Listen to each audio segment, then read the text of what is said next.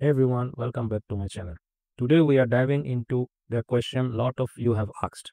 Can you cash out in Litmatch? Let's get straight into it. Unfortunately, the short answer is no. Litmatch doesn't allow direct cash out. But there's the good news. You can earn coin and diamonds which can be redeemed or rewarded for or used within the app. Here's how it works. First, tap on your profile in the app. Next, click the gear icon in the top corner to the open your settings. In settings, you will see a section for coins and diamonds if you have earned any. If you have diamonds, you will find an option to withdraw them. But keep in mind, coins cannot be withdrawn. Instead, they can be redeemed for rewards like items or perks in the app. If you don't see the option, it might be because you haven't earned any yet.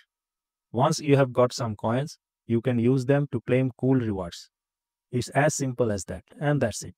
If you found this video helpful, don't forget to give it a thumbs up and subscribe for more Litmatch tips. Thanks for watching. See you in the next video.